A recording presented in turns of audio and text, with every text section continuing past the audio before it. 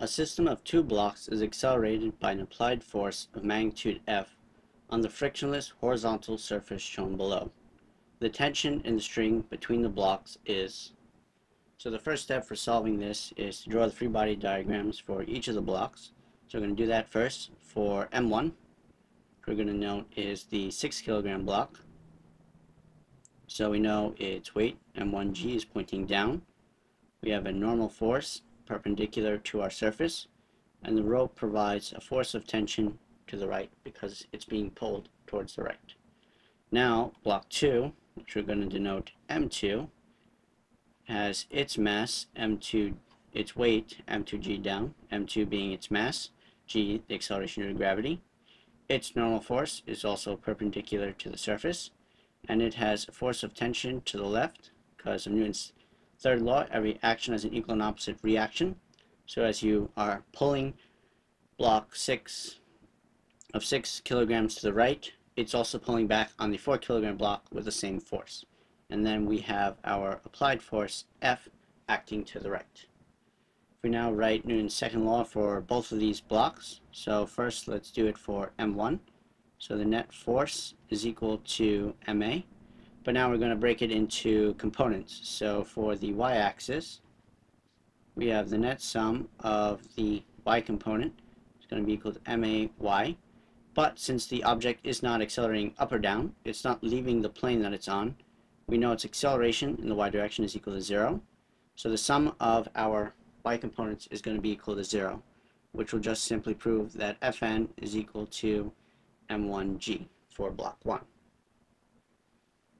If we now look at the x-axis, we would see that the net sum of our x components is equal to max, which is in fact an acceleration that we are experiencing, some value of a that both blocks will have as they move together.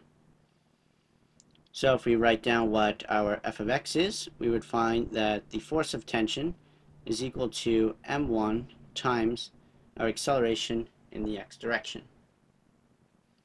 Now, if we apply Newton's second law to the second mass, so again, net force is equal to ma.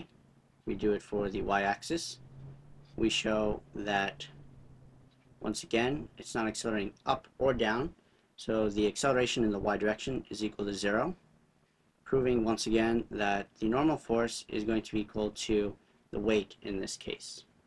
Final thing to do is the x-axis for our second block, which shows that the sum of our forces in the x direction also contributes to an acceleration of m2 with an acceleration of ax, the same acceleration that block 1, the 6 kilogram block, will experience because they're going to move together so you can consider them as a system moving together.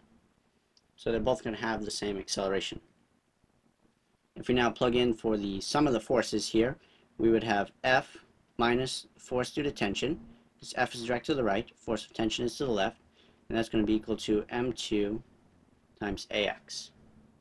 Now, we have to determine what the force of tension is. So we have to solve a system of two equations. So we have force of tension is equal to M1 AX, and F minus the force of tension is equal to M2 AX. So now, we're going to rewrite our equations again. So we have F t is equal to m1ax and f we're going to switch this around to be we're going to add f of t to both sides giving us force of tension plus m2ax now you see here we have force of tension and force of tension. So we can simply plug in this value for the force of tension here m1ax into this equation here giving us f is equal to m1 ax plus m2 ax. We can now factor out the ax, giving us f is equal to ax times m1 plus m2. If we now plug in our values for m1 and m2, we get ax times 6 kilograms plus 4 kilograms. We now add them together. We have f is ax times 10 kilograms. And if we solve this for a, by dividing both sides by 10 kilograms, we find that our acceleration, ax, is equal to the applied force, F, divided by 10 kilograms. Now, we're not done yet because we haven't actually solved for what the force due to tension is. We now return to one of the two first equations that we calculated out. We can either use this one here, the first one we got, or we can use this one here, second one that we got, F minus Ft is M2 AX, or the first one, Ft is M1 AX. The easiest one to use would be Ft is M1 AX, because it's simply just one multiplication instead of having to worry about make sure you add or subtract correctly. So we're going to use number one for this final part solve for the force due to tension. So we're going to rewrite down the equation that we know. So force of tension is equal to m1 times ax.